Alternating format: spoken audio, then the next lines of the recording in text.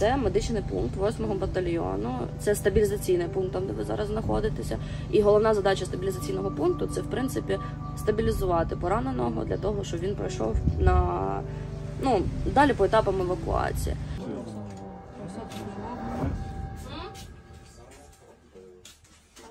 Яке в тебе відчуття, коли ти розумієш, що доля людини зараз е, в твоїх руках? Ніяке відчуття. Голова пуста, серце холодне. І треба працювати. Я знаю, що, що робити. Тут кожен знає свою роботу, тут кожен знає, що робити. Все, в нас тут такого нема.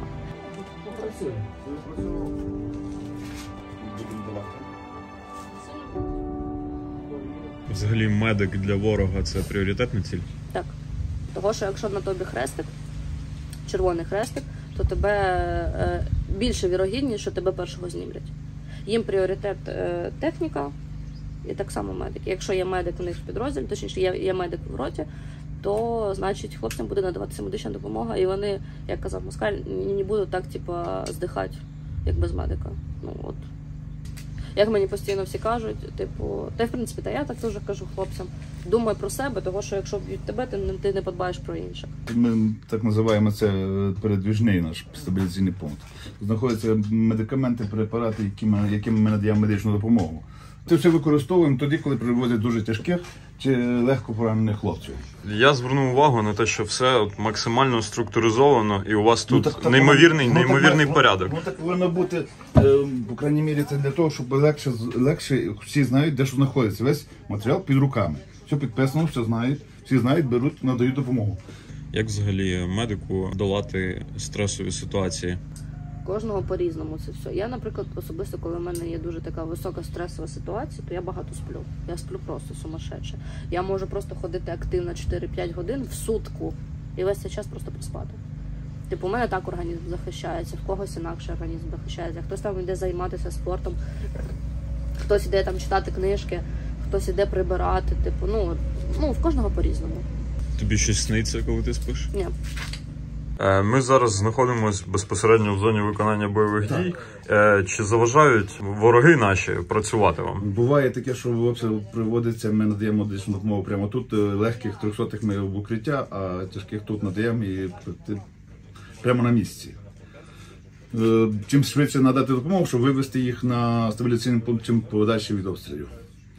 Буває таке. Це вже наш не, не, не, не перший пункт, і не ще ми надіємося, буде, будемо рухатися вперед. І не тут будемо, а будемо вже на тій території, де зараз вороги наші. Я вчора помітив, як ти е, спілкуєшся з хлопцями, яких от тільки привезли з поля бою. Е, Дуже мило насправді. І я хотів в тебе запитати про те, як військовослужбовці реагують на, на жінок-медиків і на чоловіків-медиків. Чи є якась різниця? Якщо вона є, то в чому вона полягає? Різниця є, звичайно, того, що якщо там е, чоловік-медик підходить до, до пораненого бійця і починає казати таке, наприклад, як, як, як я кажу, типу там котику, сонечку, зайчику, там туди-сюди, то ну, трьохсотий дивиться, типу, що, ти погониш чи що? Е, Якщо чесно, типу, чоловіки, м, жінків, медиків, вони сприймають якось такий, як більш пом'якшуючий емоційний фактор, як пом'якшуючий психологічний фактор. Навіть відразу, як тільки вони до нас приходять, просто ну там коли лежать е, в машині, е, до них відразу підходжу, типу, якщо є важкі. Типу, все, мене вже хлопці бачать, там він спочатку там стогнав, стогнав, я кажу, сонечко, привіт. Він такий, хопа, типу, хто здесь? І вже все, вже якось, типу, ну це психологічно так відбувається. По-перше, хлопці жінок не бачать, а по-друге, в принципі, хлопці так виховані, що, що при жінці не можна там сваритися, при жінці не можна там показувати, що там дуже сильно болить, але я розумію прекрасно, що йому дуже сильно болить. А особливо, коли ти на позиціях бачиш, що типу жінка медик, то вже всі так ласково, так це, ай, та в мене вже не дуже сильно болить, там шматка м'яса тут немає. Та, та я зараз по собі перемотаю, та все нормально, не переживайте, я ж такий, типу, класний вой, ну, типу, вже все. Це, це, це, це до- дорого вартує, коли чують хлопці жіночий сміх, типу, ну, це, Це так само лікує. так, так. У вас дуже чітко виражений такий козацький стиль. Це як воно у вас взагалі виникло? Це ви так давно ходите? Я від 14 років так. З перших же днів, коли мене мобілізували, я прийшов в військкомат, вже від- підготовлений тим же самим козаком, що був. І пам'ятаю, коли він воєнком мене запитав, каже, на другий день я прийшов по формі, в кепці, а він каже, ви вчора були з довгим волоссям. У мене волосся було нижче лопаток. Я кажу, а я ж не їду на рок-фестиваль. Е, які найбільш поширені травми е, і взагалі Осколки. симптоми? Осколки е, це перше місце. Потім йдуть в нас переломи і кульові. Кульові в нас взагалі мізерний процент. Слава Богу, це Хоча, типу, ну, враховуючи специфіку травми, я не знаю, мені здається, що осколки більш небезпечніше, ніж куля. Куля вона встигає за собою повністю весь вхід і вихід про прожечину, типу пропекти. Типу, і не так сильно кровить по факту. От є тому підтвердження. В нього кульове поранення в ногу було, і, типу, наскрізне йому просто пропекло, і в нього кровотечі такої не було. Так, кістка розрушена була, само собою м'язи, м'язові тканини порушені були, але тим не менш пуля вона нагрівається, типу вона як прорізає, але і припікає за собою. Це Во, це наш медик новий. Він прийшов до нас служити, але попав перший раз на наш запункт як 300. В нього було кульове поранення гомілки.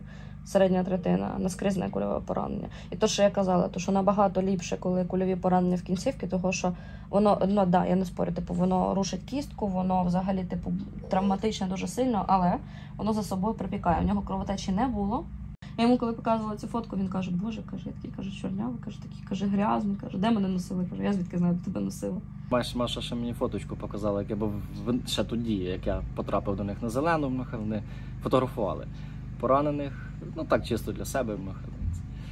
Показала мені фоточку, так досить цікаво було також мнаха, подивитися на себе, мнаха, який тоді після окопів не бритий, не митий. Ну так як тоді ще якраз такий період був лютий місяць. Навіть так покажу. От так зайшла.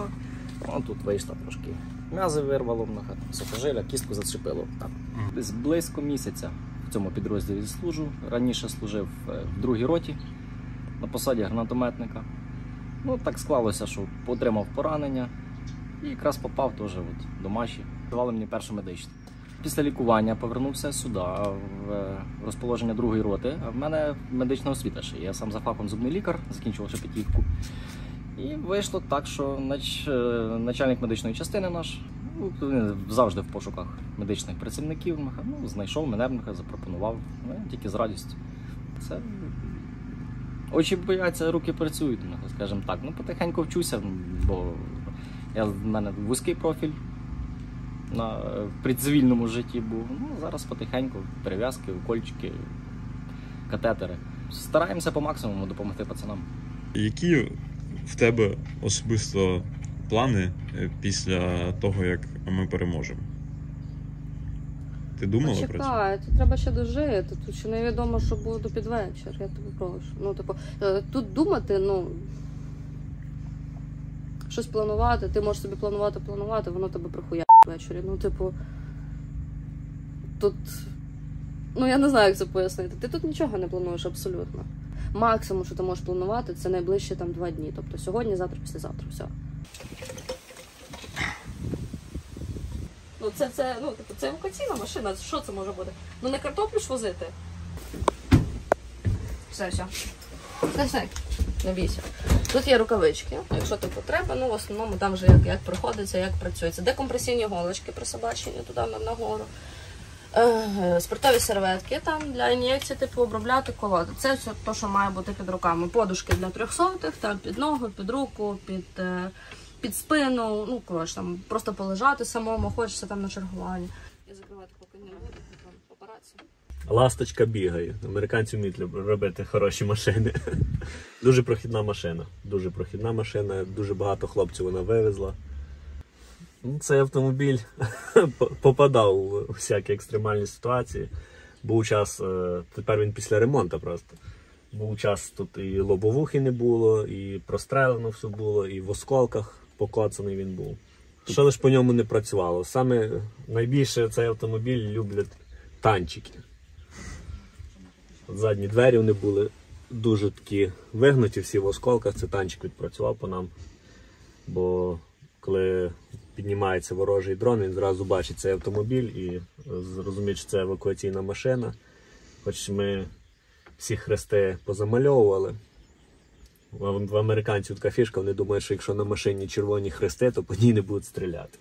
Ну, як виявляється, в реаліях нашої війни, от, найбільше по таких машинах і стріляють. Ми їх позамальовували, але все одно дрон бачить хамер і відразу починаються якісь обстріли і так далі. О, Якщо брати лежачих, він може вивести трьох. Якщо ми беремо, наприклад, що є декілька, наприклад, двоє важких і сидячі, е, то ну, бувало таке, що він вивозив вісім чоловік і одного загиблого. Ви, як водій, вивозите поранених військовослужбовців прямо з поля бою. Про що ви думаєте от в моменти, коли ви їдете, все навколо стріляє, і основна ціль ви? По-перше, дуже страшно, але основний такий е, чинник, який рухає ну, в більшості, можна так сказати, всім екіпажем, це те, що на місці того пораненого хлопця чи е, хлопців можеш бути ти. І е, дуже велика надія покладається в хлопців на цю машину. За нас був випадок, коли ми виїхали за пораненим. І якраз в той момент по нам відпрацював танк зов, ну дуже недалеко. Майже весь екіпаж був контужений. Ми всі вистрибнули з машини і нам запропонували там старший тої позиції, запропонував, щоб ми всі ну, пройшли в укриття. І ми подивилися на цього хлопця, він був ну, важкий досить.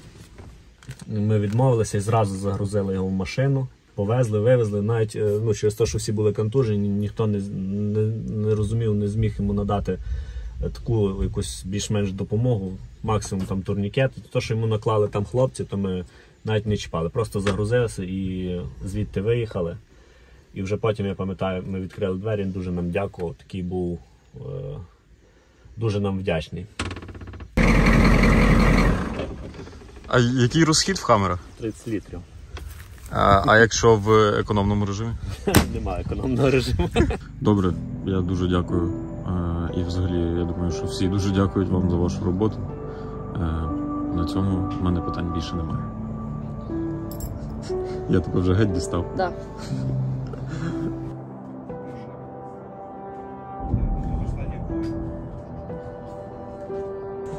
Воля свобода. Ліво.